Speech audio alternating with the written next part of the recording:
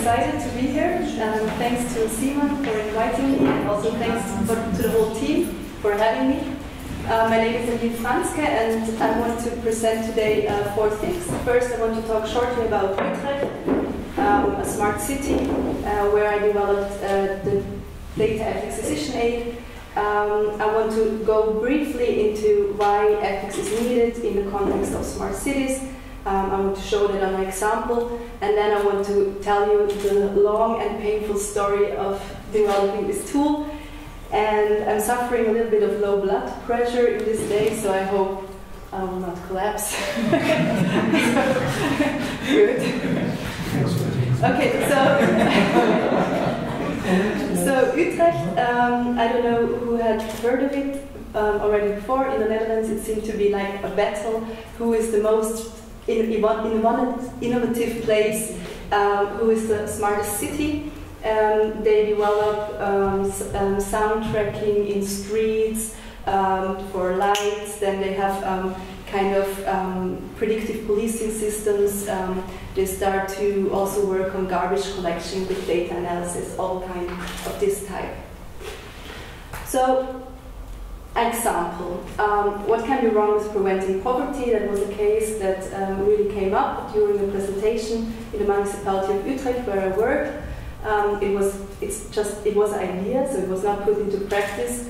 Uh, but the idea was why couldn't we combine health data with bank uh, bank accounts of people um, to see who might be in danger of falling into poverty? Well, uh, this sounds really great, but there are some problems. Um, first of all, of course, there are security issues um, but then also categorization issues. So, for example, who then tells what is poor and what is rich? And what does it mean when I'm in the category of being poor, which I probably always would have been um, in front of the um, government, all type of biases that, that might be uh, part of it, but also the frequently discussed um, privacy issues, and also how do you inform people that you want to do this kind of uh, things with their data, and in the end, the question of autonomy. So, what kind of um, Menschenbild do we have? Uh, how do we believe? Are people free? Are they autonomous? Can they decide for themselves? Um, is there something like a right to fail? Something like that. So, what we see in this um, smart city developments is a boom of ethics um, and kind of this idea that ethics can fix everything. Um, uh, it's frequently heard and said like yeah, okay, uh, we need to do that ethically, but it's actually not really clear how to do it ethically. And also not very clear what people mean when they talk about ethics. So there is, every one of us has kind of a moral gut feeling, an intuition, a feeling of like, okay, this is right and this is wrong. And what I saw in the municipality of Utrecht is that they really want to do the best. It's not that they are this state people that are just into um, surveillance and controlling the masses, which I kind of assumed before. Uh, but it's really, they, they, they, really try to do their job. The thing is that there are so many unpredicted outcomes in next steps that it's difficult to, to, to trust um, a gut feeling of one. And then also when we talk about ethics, I mean, there are so many different school of different ethical schools, and so it's really difficult to, to come up with kind of normativity in a field that is so developing. So um, that was kind of a little bit the context in which um, the um, DEDA, Data Ethics Decision Aid, was um, developed. So it was for the municipality of Utrecht, and um, they came to me and said, like, we want to have a decision tool where you put an ethical question in in the beginning, and then you get um, the perfect outcome. so I started with that in 2015, and I was really saying, wow, how shall I ever um, do that? Uh, they wanted to have kind of decision tree approach, like yes, yes, yes, yes, okay, yes, cool, uh, but yeah. so that was the prototype number one, a really ugly thingy, uh, which is not, uh, it's not. Um, it's not a decision tree. Uh, it's also not beautiful, but it's more like a questionnaire. So you start with, uh, do you have any doubts about the project? And then uh, if you ask one time, yes, I have, or no, then just do it all over again. It's not uh, prescriptive and it's really focusing on the common good. Okay, but then I still felt after um, presenting this, I mean, it was really after two months or something. So after presenting this, I felt like, okay, this is just, that's crap. Let's continue. So uh, that was the second version. Um, it was a more boxes approach, uh, telling people a little bit more already about privacy, biases, responsibility. But then I realized, okay, it's not worth anything. You can have the most uh, beautiful thingy when people are not engaged. You will never get the reflection process started. So um, I felt, okay, it's not interactive enough. And what are you doing in these days when you need something interactive? You go for an app. Okay, so and then uh, the next version was an app. So it was this, hi, I'm DEDA, your data ethics decision aid. My goal is to raise ethical awareness um, surrounding data practices, nadi nadi nadina and nadina. Okay. And then I, I was, of course, um, checking the answers. I figured out that people are just jumping through the questions, that they try to be finished as fast as possible, that it's not working at all.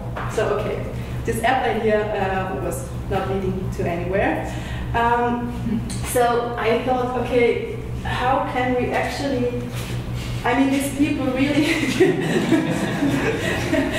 so I mean, this is really, like in Utrecht, they are really implementing already these whole technologies. They are implementing already, um, they track people's mobile devices to, to see where people move within the city. So I really felt, okay, there is some pressure on me. I, I can, there is a need that this is going well.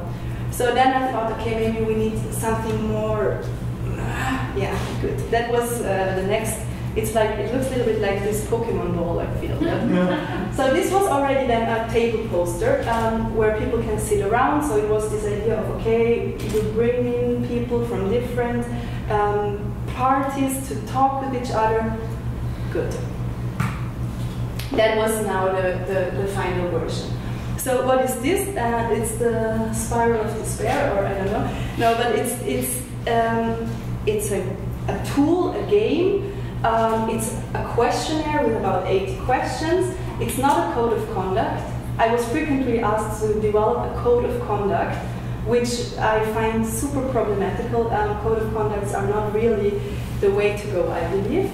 It's a dialogical um, tool for all those people who collect data, clean these data sets, visualize these data sets, and make, on, based on this visualization, make policy on that. And the point is that frequently it's third parties who collect this data and they never ever speak with those who finally make policy based on these data sets.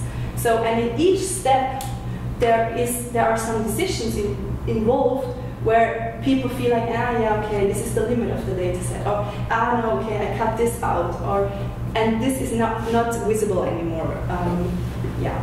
So then it's a tool that is made for the task. It's context sensitive in the sense of that it's really made for uh, big data, big data, I don't know, like yeah, data and big in, in brackets um, for municipalities. And then there is a 80 pages handbook with further explanation on the involved topics. Okay, so then I think what I've tried to achieve is that it's not really uh, one school, but it's really, it is kind of an ethical pluralistic approach. Okay, so how does this thing work? We have uh, four steps on it. So you start with um, data-related considerations, then you have general considerations, and in the end you have um, a, a, game, a case deliberation game. So when, why do we start with, with technical questions? So there are questions um, concerning algorithms, the source of the data set, how to anonymize data, how to visualize it, and how to make um, how to control the access. So who has um, the encryption key, how do you want to retrieve it, and so on.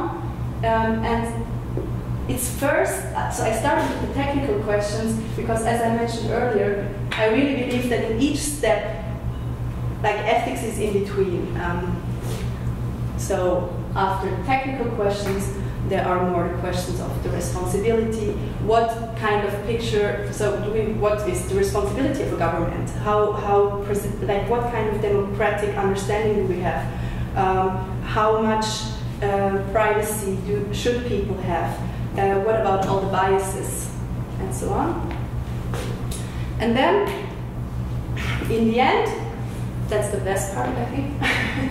there is this case deliberation game where uh, people, uh, so I split usually, I split the groups, and the one group is presenting the pro arguments why this project needs to be done. For example, we need to track people's mobile devices because it's amazing tool. We can see where they move within the city. We are anonymizing the data anyway, so uh, it's really helping us to make great bridges and to really see where there are problems. Uh, and then the other group is the devil's advocate, and the other group uh, needs to bring contra arguments why this practice might be problematical. And what I've like what I've tried to achieve by that is that um, this super euphoric, technophoric approach of yes, yes, yes, we cannot sit still, we have to do everything we can do. I mean, this this vibe is very different here in Germany, I feel, but in, in the Netherlands is extremely techno-euphoric. So I try to slow this down. So why the spiral shape? Um, people told me like that. Kind of messy. Why? It's like a little bit, so but there are some thoughts behind it. Um, so first of all, it slows down pro uh, the process of decision making, so you really need to sit and you need to talk and uh, you walk towards a decision. So you start with this very big question of shall we do it or not? And instead of saying, okay, let's talk about philosophy, where you end up with am I alive or not? Uh, let's make it like as focused as possible and start with the context and walk slowly towards a decision. And then it should increase the dialogue between those parties, as I mentioned before, who, who collect it and so on.